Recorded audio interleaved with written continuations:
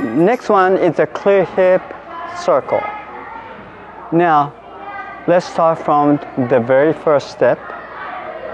The clear hip circle, as we demonstrated in the beginning, gymnasts can do the back hip circle, fast back hip circle.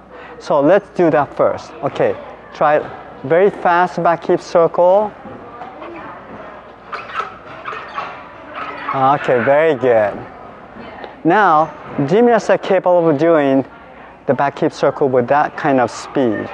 Now, I'll ask her to push after the back hip circle, push away from the bar, push the body away from the bar and stand on the block. Faster. Uh, okay. Now, as they develop the speed of the rotation, naturally body will naturally uh, start to go away from the bar.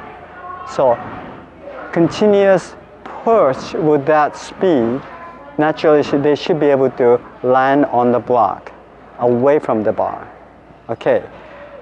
Then, if they are capable of doing that uh, step, they should start learning the shifting of the wrist and support themselves on top of the bar.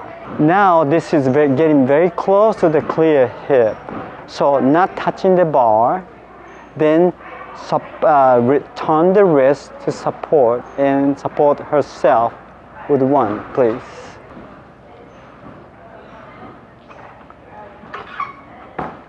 Very good.